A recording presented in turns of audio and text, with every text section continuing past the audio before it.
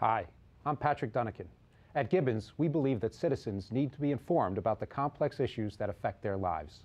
That's why we're proud to support the programming produced by the Caucus Educational Corporation and their partners in public television.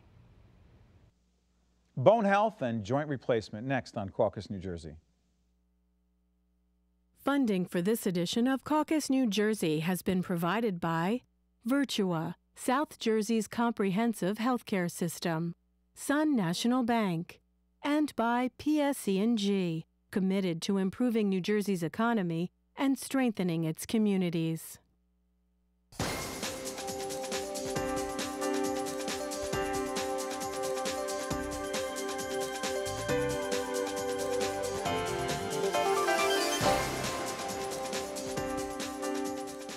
Welcome to Caucus, New Jersey. I'm Steve Adubato. You know, joint replacement is more common than you think. Get this number. About 773,000 Americans have a hip or knee replaced each year. Joining us here in the studio to talk about this very important topic are Dr. Scott Schoifet, orthopedic surgeon and medical director of joint replacement services at Virtua, located in South Jersey. Michael Balabon had both knees replaced, one with traditional surgery and the other using, using minimally invasive technique that we'll talk about a little later. Dr. Andrea Johnson Davis, a physical therapist and clinical director at Star Physical Therapy down in Mount Laurel, New Jersey. And finally, he's been with us before, Dr. Elliot Rosenstein, director for the Institute or the Institute for Rheumatic and Autoimmune Disease at Overlook Medical Center. I want to thank all of you for joining us. Listen, we're talking about bone health, joint replacement. Uh, doctor, very complex, but one of the most interesting things is in your situation, right? You had two different, right? Two Both different knees, yeah, One traditional, one minimally invasive. correct. And minimally invasive could mean different things to different people, right? Let's break this down right away. Well, by the way, we don't just bring in, or we, or we don't have guests bring in props like this without using them. This is very important. Take this, doctor, and show us what traditional versus minimally invasive, and invasive having to do with the knee replacement. And this has big having to do with quadricep muscles, right? Correct. Talk Minim- to us. I think we have a shot of it, right, Sure. guys? Minimally invasive can mean many things, a smaller skin incision and, and cutting less tissue. But what we're talking about is quadriceps sparing, uh, the quadriceps being the biggest tendon in the body. And this is a knee joint, so when we replace a knee joint, we have to replace the aligning surface of the knee. And the only way to get in there is to get this kneecap out of the way. So traditionally, we'd split the tendon and flip the kneecap out of the way and then bend the knee back. That's traditional. That's traditional. Okay. And that gives you access to the knee to put the knee replacement in. But then you're rehabbing a knee replacement and a cut tendon. So theoretically, if you cannot cut the tendon, We'll go back for a second. That rehab, Mm-hmm. on average, doctor, how long? well, the entire recovery is about three months, but most people would say that when you don't cut the tendon, it speeds things about two to three times. Got it. Now you're going to switch gears, talk about What some improvements here. Exactly. If you're not going to cut the tendon, then you need to be able to get this kneecap out of the way. And the way you would do that would be sequentially cutting bones. As the joint gets closer together, it relaxes the muscle so you can actually get the tendon out of the way. So the procedure becomes a very big part of getting a knee replacement in. But what you find is that postoperatively, not only is the patient moving better, but you're not trying to bend a tendon that was recently cut. So pain management is easier, physical therapy becomes easier, and the patients seem to do better. Point of clarification. Minimally invasive, as I said in the introduction, means different things to different people. Is that the same as laparoscopic surgery? No, laparoscopic surgery and arthroscopic surgery using fiber optic cameras to get into the joint. This is we're actually physically getting into the joint because we need to align these uh, prostheses properly and put it in uh, the proper orientation to get the knee to function well. So you can do that by not cutting the tendon. So you get the same benefits from a knee replacement, but hopefully, as, as uh, Michael will tell you, you can see a difference in the recovery. And if you can get somebody through the process faster and get them out in the workforce, L- Let's do that, by the way. And by the way, log on to our website. We'll link on to our partners down at Virtua. We're providing great information in this area. Let me ask you, when did you have, go back, which one's right, left? Right was traditional, Right traditional, three years ago. got it? A year ago, I had the minimally invasive surgery. Got it. On the left. Describe the rehab on each. Uh, Rehab on the first one was, was about a three-month process. Two months totally, on the, on the first knee, totally devoted to physical therapy. Wasn't driving, was managing pain uh, with, you know, high, high doses of pain medication, Uh, was going to physical therapy three times a week for two months. Doing it by the book. Doing it by and the by the way, why did you need that re- knee replacement? What, what's your Uh, sport? I played basketball. For too long? Too long. no, no, never too long. But too long. But no, but but also you know other activities and uh, you know arthritis in the knee, and I was I was very knock-kneed as well, so I had. A, what does that mean? That means that uh, if I couldn't put my feet together, my knee my Okay. knees came together first. I couldn't put my feet together. Does that you're verifying this, doctor? I'm verifying it's Okay. true. It didn't Now look go good before. It, it did not look good. Well, no, I mean How does it look now? they go together. Oh, that works. Now talk about the other knee. Now, the minimally invasive. That was a surgery that Dr. Dr. Schoifet just described. did. That's correct. That was the one that, that he first described. And uh, the minimally invasive surgery was a totally different experience. I was driving within two weeks. I went, went into the hospital at 6 o'clock in the morning. By 9.30 that day, I was walking and doing steps. By 6 p.m. that evening, I walked out of the hospital.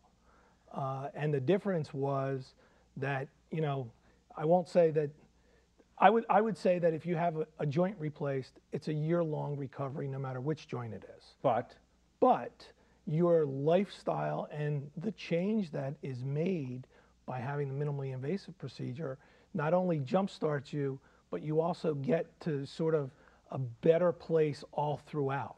Dr. More Davis, jump in. I'm sorry for interrupting. Go mm-hmm. ahead. Yes. What are you hearing here? Typical?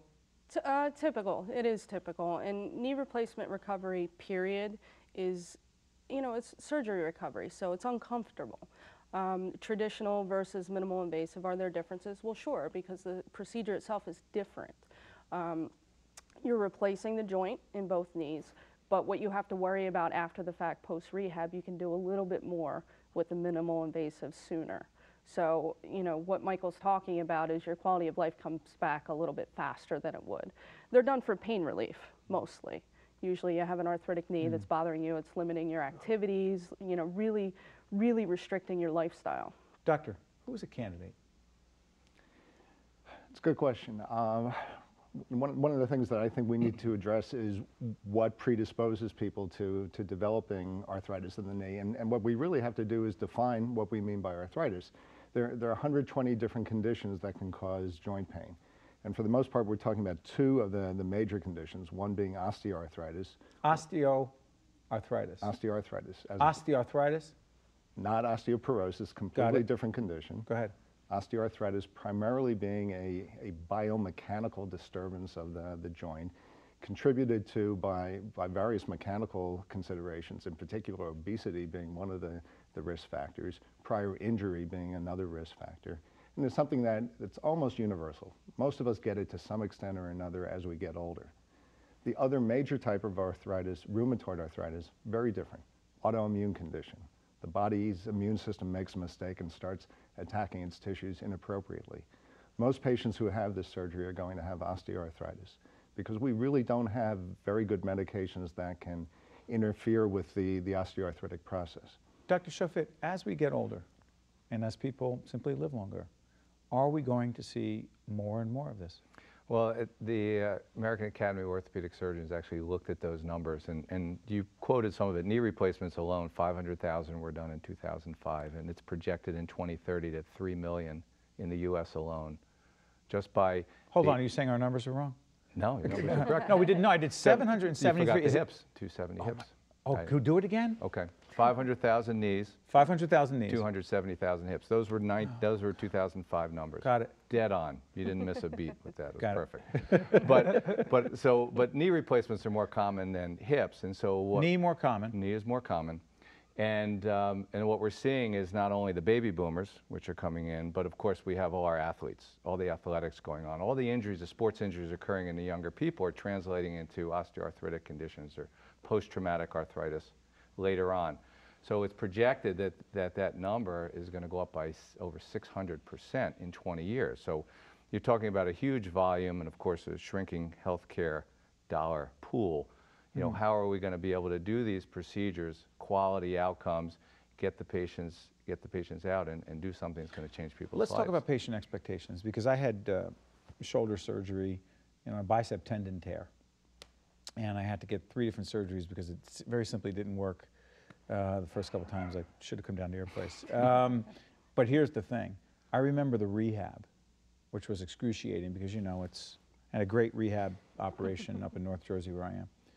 But my expectations as to what I was going to be able to do and when, I began to, to see were very unrealistic. Let's talk about managing expectations. No, I mean, we actually just had that conversation uh, before we came here. In the green room, which isn't green, but go ahead. we did. Um, and exactly that. It, it really is managing expectations because the expectations of a 75 year old versus uh, a much younger patient in their late 40s or early 50s are a little bit different. It's all- Should they, uh, here's the thing. I kept thinking, and I, I I don't mean to make this about me at all, because uh, it just make, which I'm capable of, but uh, just make it about anyone who says, I want to be tough, I want to be strong, I want to work through it. Not that simple? It's not that simple because, uh, again, we were discussing um, the body only heals so fast. So regardless of what your mentality is going in, which is always beneficial if you're, you know, educated properly and you understand what to expect, the body's only going to heal so fast. So I don't care if you want to just tough it out and you want to just do it, it's still only going to heal so fast. So you're still looking at a And, and your Timeframe. attitude, I'm sorry for interrupting, describe mm-hmm. your attitude, Michael, because you're an athlete. Well, yes, but my. Yes, but, but once it's been a- 50 been a while. happens, But it's been trust a me. while, you know. yeah, I, I get you. Um, no, but but I, I was actually the one that brought up the conversation about expectations oh, it was you. because I think that as a patient, you have to understand what's ahead of you. You need to understand that you're what you're what you're getting involved with, what the commitment is that you're getting involved with, and you also have to understand that you know, yeah, you, you're not going to get a magical pill that's going to fix everything all at once. So, you know, what you're really getting out of the the procedure is the ability to get on with the rest of your life, and you don't what you don't want to do is set yourself back by rushing into physical therapy because you know hey i feel so much better that i'm going to go out and i'm going to get on the stair stepper for four hours that's not the thing to do How much were you managing his expectations? Um, we try to manage expectations before surgery. And I actually asked him that question. You know, did I tell you enough before surgery? You know, Ye- to, to absolutely. educate you. So you know, if they know what's coming and they know what to expect, it's it's going to make the process much easier. But you also sometimes have to find patients you hold back because just because 10 is good doesn't mean 40 is better. And when and the body does need to heal, so physical therapy is, is crucial. Patient education is crucial to get the patient through in the right time frame, so they don't end up with tendonitis and, and a lot of inflammation. Timing. Doctor, help us on this. Someone watching right now, and listen, the purpose of this show very simply is to educate people, inform you so that if you're thinking about it, having, or you've dealt with it, or as a loved one that you, you know should be dealing with this directly, that's why we're doing it. So the question is, say you want to go in to see a physician. What should you be asking if, you, if you're concerned about your hip, your knee, whatever it is? What kinds of questions? Uh, The first question is to make sure that an accurate diagnosis is made because there are lots of conditions that can cause hip pain, lots, lots of conditions that can cause knee pain. They're, they're all not necessarily arthritis. They all don't necessarily need surgery. So accurate diagnosis. Depending on what the diagnosis is, making sure that the appropriate therapy is instituted, which may include anti-inflammatory medic- medications, may include physical therapy, appropriate exercise, orthotic devices to correct some anatomic disturbance. We, we heard about the, the knock knees. That can be helped sometimes with uh, inserts in, in the shoes. Uh, so um, the, the key is diagnosis and then a treatment plan appropriate for that diagnosis. Let's talk about men and women, differences. Well, Why'd, why'd you make that face when I said that? Of course, that? there's differences, but it's, it's just interesting you said that because um, 50% of all hips are men, 50% women, but it's about two thirds women for knees and one third men. Just Because? interesting. There's a lot of becauses, and no one really quite knows the answer. What do you Um, think? um, a lot of it has to do with the anatomy, and um, there's some, uh, and it also, thought that some of it's social, meaning that uh, a lot of men who are 55 or so in the workforce, 60 years old, or may have a bad knee and, and may not want to take the time to get it done. More women may not necessarily be in the workforce and have the availability. Uh, women are sustaining a lot more sports-related injuries because they're doing a lot more athletics and uh, you know Division One sports, and you're seeing a lot more anterior cruciate ligament injuries, which can then lead to arthritis. So there's a combination of reasons. It's part of it anatomic? Uh, is part of it social? Uh, the answer is not quite out there, but the data shows, and, and it's in my practice, is Right. I'm like 65% women are knees and, and 35% men. Do you see any differences? And does the research bear out that there are any differences in terms of how men versus women deal with the rehab process? Um, it's inter- it's an, a very interesting question, actually. I Um, have interesting questions. I have no answers, but I have interesting questions. Well, it's interesting in the fact that just in casual observations in the clinic and in my practice, um, both do very well. Women, for whatever reason, seem to do a little bit better with the, uh, the pain management aspects of it early on. Men recover faster, just in my humble opinion Is in that my right? practice, as far as returning to uh, activities and whatnot. Um, does the research support that? Not anything that I have read at this point. Can we talk prevention? And I'll tell you why. Well, I, no, seriously, one of the things that I realized, and, and I was, when I go to the gym, I happen to work with someone who uh, helps me with my lack of flexibility. I'll be, you know, I'll just put it out there. I don't stretch enough. I do not stretch enough. As much as I work out, I don't stretch enough. And I pay the price, you know, and I haven't paid the price to the degree that we're talking about with knees and hips or whatever. But the shoulder thing, and I don't know if it had anything to do with that what is the role of being flexible enough and stretching enough before and after exercise? Exercise, first of all, is part of it. Dealing with the obesity issue, weight management, right, was a risk factor. But go back to the issue of flexibility. Am I making too much of the stretching, doctor? Um, you may be making too much of the stretching, but the strengthening is, is crucial because it's going to Give me an example. Okay, you, get, you get the knee replacement, right? correct. You get the knee replacement. Are you saying? I'm sorry for jumping ahead. Are- are- are post surgery. We're talking after Well- surgery or before. Well, okay, you know, do before. Okay. Are you telling me the more quadricep work someone does, the more work they're doing leg extensions? Could you pull back a little bit, Steve? Camera, the more leg extension work Mm-hmm. you do, okay? The stronger you get your quadriceps. Mm-hmm. Are you saying you're protecting your knee more? I'm saying it's going to help with your pain management of your knee. What I like to, and this is my description when I'm trying to describe arthritis, osteoarthritis, I describe it as the wear and tear, like wearing the tread off the tire of your car. Okay. All right, so we were born with our tread in our knee, and in time, you know, we're wearing it out. It's not being attacked in autoimmune disorder, And but it's getting closer to bone it's getting bone? closer to bone on bone. So when you're wearing that tread off, you can't exercise it back. You know, you can't in, and put a medicine in and, and inject it back. You can't take a pill and make it recover. But what you can do is is manage the symptoms. So if you build up your strength, you can take more of the load off of the joint. So you're not. It's like taking uh, weight off of the car with a bad tire. Okay, it's not. It's not having Right. to work as hard.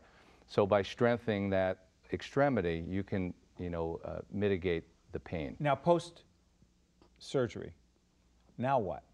Well, post surgery, again, it becomes very important to get the strength back quickly, to get rid of it helps manage the pain. Again, that's why not cutting the quadriceps tendon allows you to get your strength back quicker, allows you to manage those symptoms and return to function. So, I'm sorry, so. oh, that's okay. I was going to say it is is equally important post-operatively as preoperatively. Now let's talk the hip thing.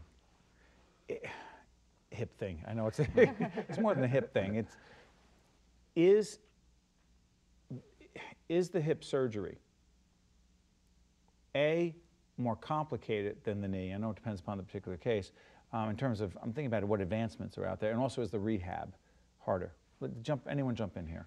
There's- you only know the knee thing, right? I only know It- that. it's, Okay. Fortunately. it's an interesting. Good. Yeah, let's keep it that way. Okay. It's a com- well, the, the knee is, as we described, is a resurfacing, but a hip replacement is a ball and socket. That's a hinge joint, works like a door hinge. The hip is a ball and socket joint. So again, the flexibility is completely different. So when you do a hip, you actually remove the ball, put a new ball in there and a new socket. you don't happen to have a hip hanging around, If do you would have told me ahead of time, I would have come in with a whole No, your thing is primarily in Right. this. Okay, you would have come Yeah, with the whole, thing. pelvis. The whole thing, I would have had you, a cadaver and everything. But, but Listen, this is for the PBS. sake of a small studio. I Yeah, we got a cheap out. budget, but go ahead. But you would have brought the whole thing. But it's interesting you point out that when you actually, you know, poll patients, and, it, and this has been done, about does it feel like a more normal joint? How do you feel pre, Right. you know, post-op as you do pre-op? Hips feel much more normal than knees, all right? And, and there's multiple factors. I mean, there's a lot more different parts.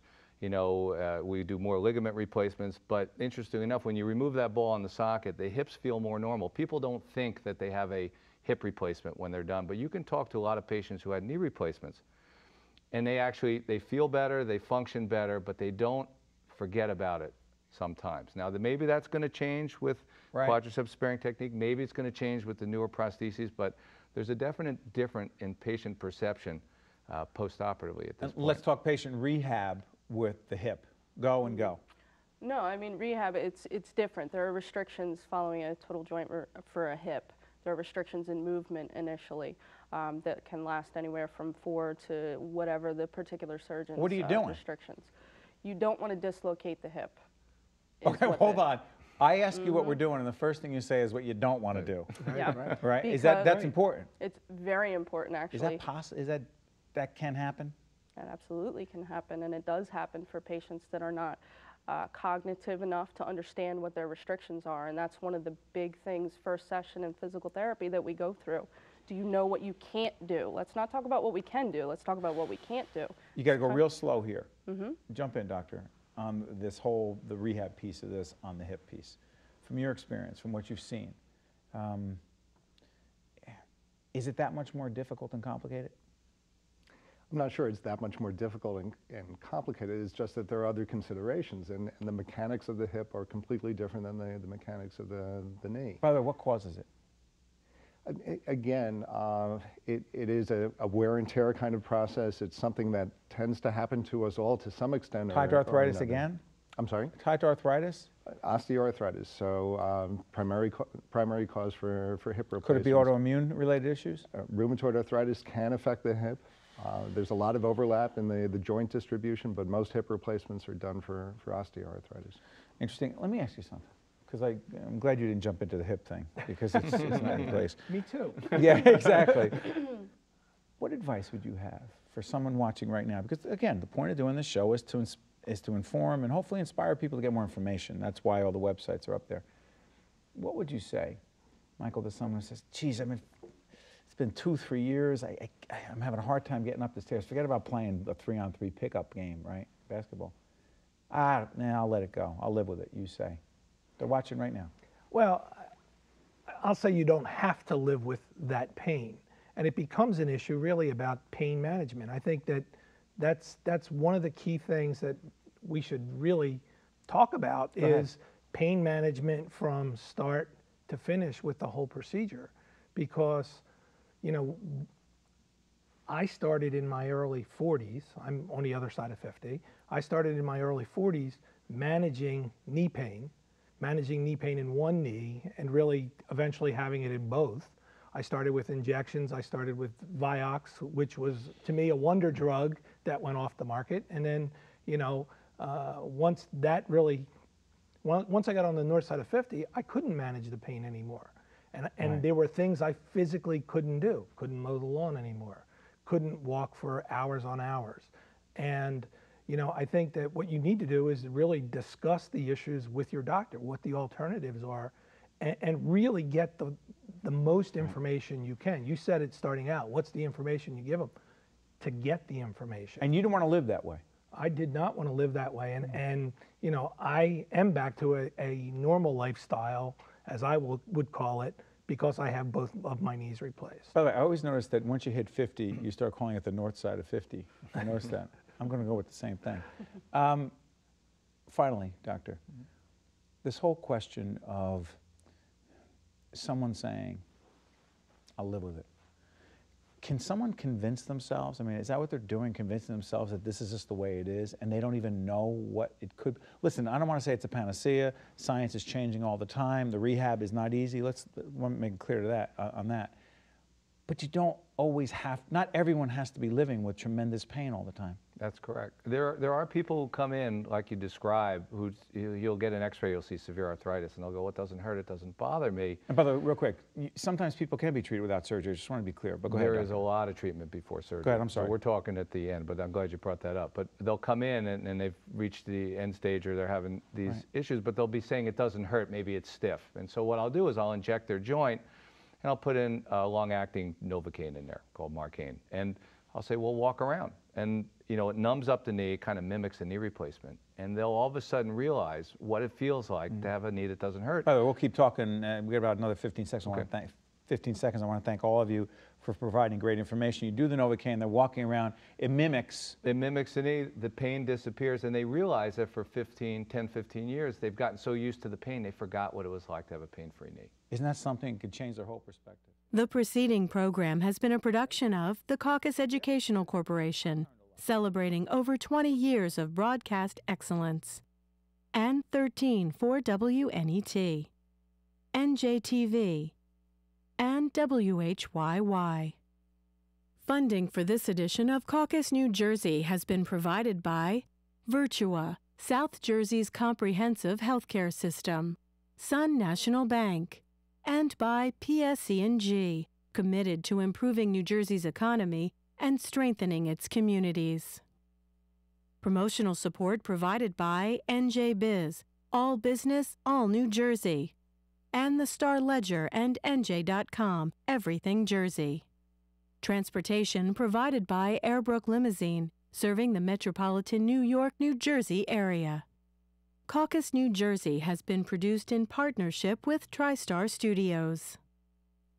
I'm John Campbell, Berkeley College, class of 98, associate's degree in paralegal studies. I'm Busi Matsiko Andan, Berkeley College class of 2004, bachelor's degree in business administration. Melvin Montalvo, class of 91 and 2003, degrees in accounting and management. Simi Papachin, class of 2001, bachelor's degree in business administration. From different walks of life, our students succeed in different ways, yet their first step is exactly the same.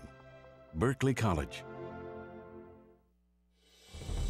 Don't miss Steve Adubato and co-host Rafael Pi Roman each week on New Jersey Capital Report, airing on NJTV, 13, and WHYY. Check your local listings.